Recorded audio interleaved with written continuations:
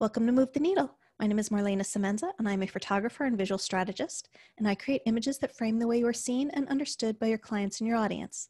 Please join me in welcoming today's guest. Natalie, please give us your name and tell us what you do. Woohoo! Well, thank you for having me. I'm excited to collaborate with you in any way that I can. My name's Natalie Klun, and I work with service providers and helping them transition their business to virtual and how to network virtually you know that we have all of these amazing tools and and depending on when someone's listening to this episode you know we're, we're still in the middle of, of uh, covid-19 and as a, in response to that a lot of people are trying to figure out how to use the virtual tools they, they've known like it's been in their back of their mind. You know i have a lot of clients who are like i've known i've needed to do this for a while. Now now it's become you know a, ne- a necessity right? So helping them use these virtual tools to connect to build relationships to you know we'll use some business terms here to generate leads to grow their network whatever that is.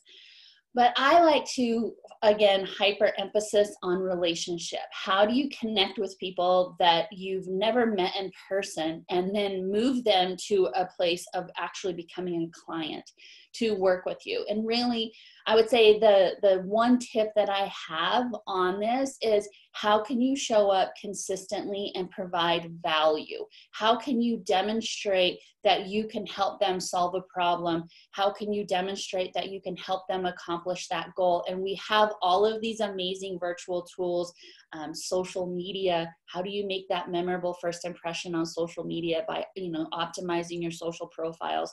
How do you create content in a way that captures your personality, that captures your voice, that shows that you are that expert, that you are that authority, that someone would want to connect with you and carry the relationship forward. There's all of these misconceptions on how to use social media, particularly like there are these personal billboards that we're supposed to just you know copy you know put content out there all of the time and and we go out and we find someone to help us but then they don't capture our voice and if you want to invest in someone like that, it's really expensive. So, how can you do that is individually?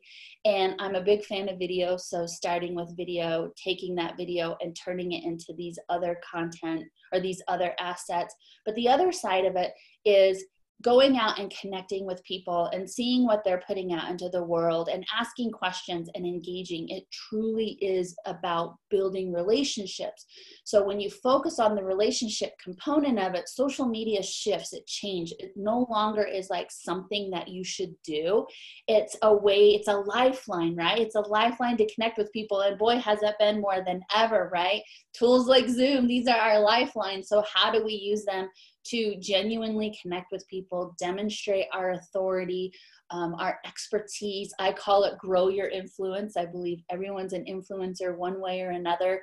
If you make a difference for one person, you make a difference for uh, many people, you're an influencer. So, how do you use these virtual tools so you can minimize the impact when things happen that are outside of our control? I think we're all in, in the same boat with that but also how can you connect with people, build quality relationships. And if your goal is to grow your business, then you can grow your business. If your goal is to work from home, um, how can you do that effectively?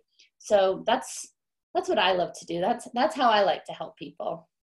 Thank you so much for that, Natalie, and thank you for being here. Absolutely. Thanks for having me.